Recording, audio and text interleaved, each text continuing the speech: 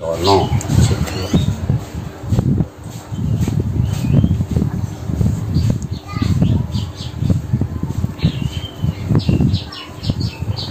Ya, eh, untuk kesempatan kali ini ya, kita sarasehan kali yang Legino Marto Wiono Pandito Utomo Agomo Budo Jawi Wisnu.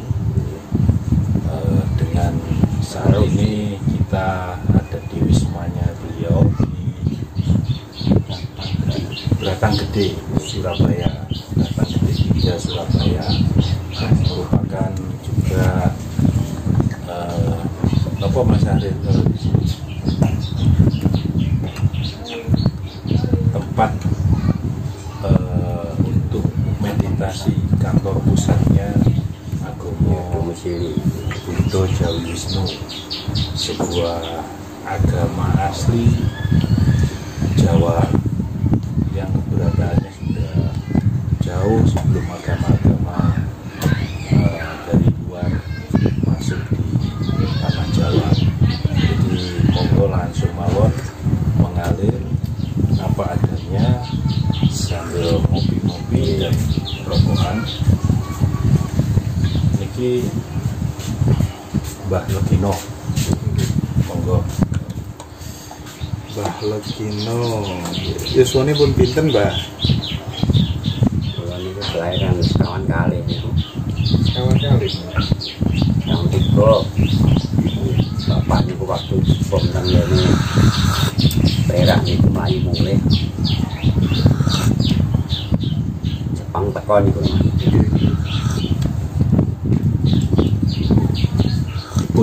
Pun ceritakan anu ya eh, yang tentang agama Buddha Jawi Wisnu untuk perkenalan secara umum.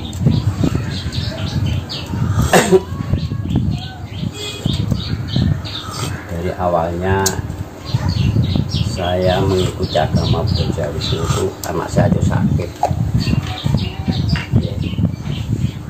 Sakit anak saya itu nggak bisa berak nggak bisa kencing saya menemukan seseorang sehingga saya anak, saya sembuh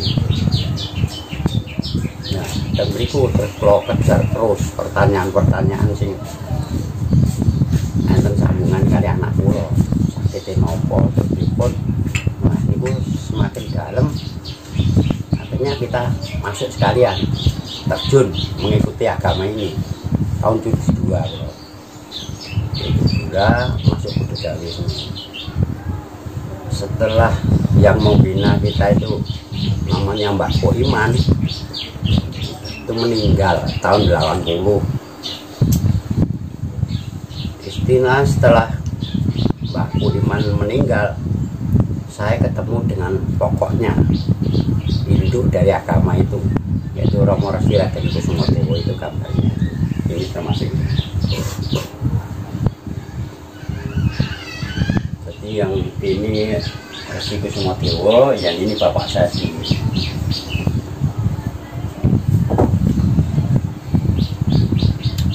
tahun 72 setelah Bapu meninggal tahun 80 saya ketemu Romo si Raden Kusumo Dewo sehingga saya disumpah lagi. Masuk baru lagi ya siap aja. Soalnya kita sudah menyatu di tahun 80 saya disumpah lagi dan langsung diberi nama. Waktu itu juga setelah kita sumpah seliramu tak paringi asmo Legino Marto Wiono nah di situ saya tanya apa arti nama saya? Gitu ya Pak. di sini jelaskan Legino kuwi nek nek lagi enak Martone ulangan Wiono itu kuat. Maksudnya Romo ini kuat kanggonan ulangan miskinnya. Sehingga sampai sekarang saya tetap yang melanjutkan bertanggung jawab pada seluruh warga pemeluk. Iya, iya. termasuk kematian saya yang merawat. Ya, mati sak nguburi sak selamatani maka ada yang nikah juga saya jadi naiknya tuh all round. Lho mungkin soalnya dari ngenten niku ya mas? Makanya kalau nggak kader mas Saril mas ini nah, ya, mas Andi barang itu kan terus yang bagian ngelampet jenazah ini mas Sardi namanya oh iya eh itu mungkin pun pun keluarga akan strukturnya. Ini pun. Mbak mengupas dari sisi apa ya nilai-nilai kejawen ya yang akhir-akhir ini kan seolah-olah luntur gitu iya, ya iya. dianggap sebagai sesuatu yang kuno sesuatu yang bersifat klenik dan tidak modern gitu Iya, kan, iya, ya. iya. Eh, pandangan panjenengan terhadap ajaran leluhur kita yang kondisinya sekarang seperti ini bagaimana? Kalau pandangan kita tetap semangat aja mas. Istilahnya kita ada orang Jawa. Orang Jawa suku Jawa tempatnya di Pulau Jawa. Jadi saya tidak merasa minder dengan agama-agama yang di luar. Saya tetap konsisten mengembangkan ajaran leluhur saya. Sampai saat ini jadi untuk sampai sekarang ya Surabaya ini pun handphone ya kurang lebih 100 lah Iya. pun yang ikuti sekalian hari semakin tambah semakin Semakin tambah hari semakin banyak. Iya. itu Terus- Surabaya ya Nggih, nggak dari teng Blitar dari teng Malang Selatan Terus saya mulai masuk ke bimbingannya, Mbak. Kalau di Jawa itu kan ada yang namanya nututi babakan Songo. Nggih.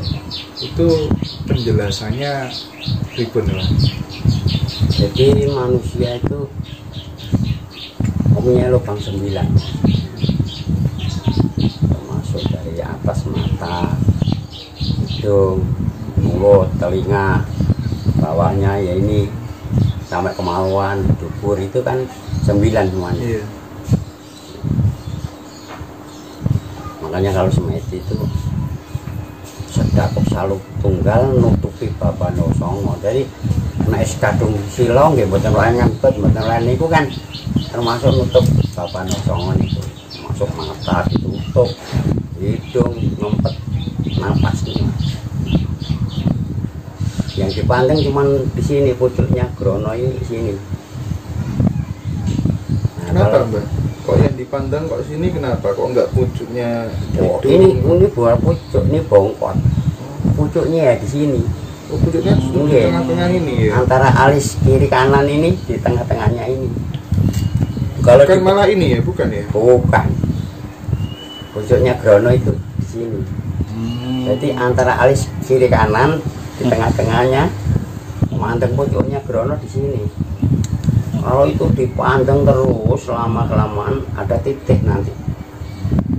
Nah, titik ini semakin besar semakin besar ada gambar nanti. Gambar apa yang kita lihat di situ? Jadi sekali lagi pucuk egrono itu di sini Iya. ya. Pas kita meditasi yang kita pandang ini. Iya. Nah, Tapi sambil matanya sayup begitu atau gimana? Atau terpecah? bukan sayup kita kita harus memejamkan mata merem punjerakan Fokus- datang fokusnya di sini, di ya? sini fokusnya di sini Kalau dari teman-teman yang sudah apa ya? Sudah menerapkan Iya. itu kira-kira yang dipandang, yang dilihat, yang dialami, yang dirasakan biasanya apa aja, Pak? baca nanti lihat kebutuhan teman kita butuhnya yang mana minta apa gitu. ya contohnya seperti Mas Ariel kemarin aja di atas juga sudah bisa melihat. Dia kan kelihatan pulau Kalimantan. Akhirnya Kalimantan sekarang banjir bandang terus ini.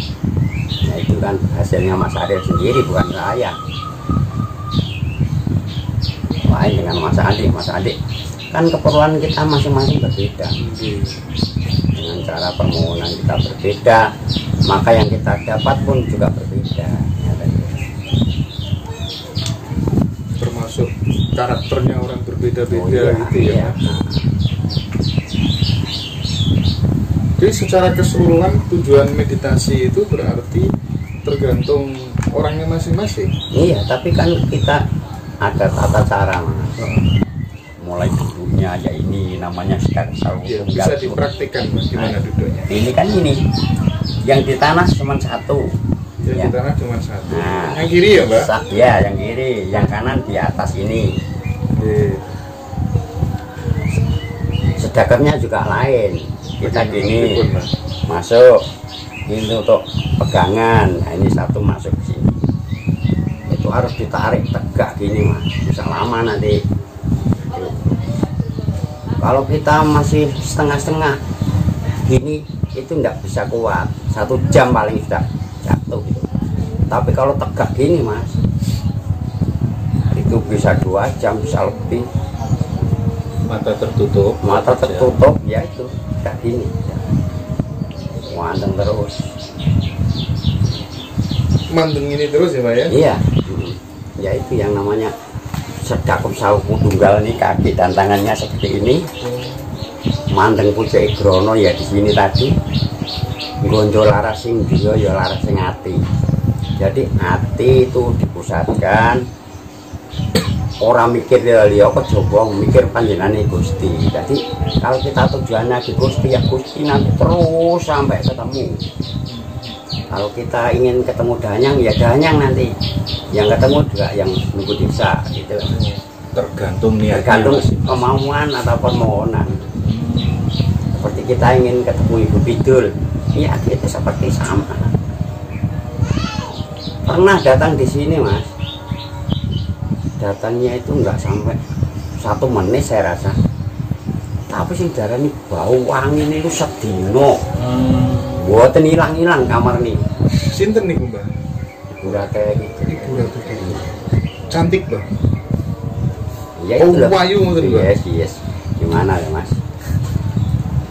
Kalau orang-orang biasa ya lain lah. Ratu namanya ratu kan. Pakaiannya pripun mbak? Dominasi hijau atau gimana? Ya tidak enggak ya? Tapi sering yang hijau mas. Sering. tapi bukan harus hijau. Itu pun kalau datang pakai kereta kencana pak. Seperti dokar ini mas. Biung biung biung biung. Oke, kepireng panjenengan. Iya iya. jam berapa biasanya mbak? Lu nggak mesti.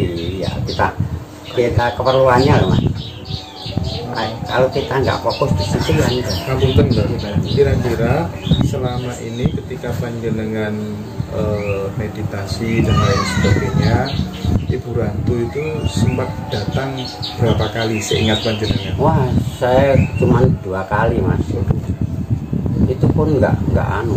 Yang pertama di balik kambang balik kambang itu guru-guru tahu semua orang tiga kan satu kamar itu ada tempat di dua tempat.